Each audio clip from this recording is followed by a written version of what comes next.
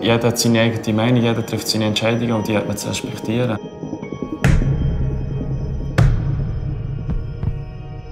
Ich habe mich entschieden. Und du?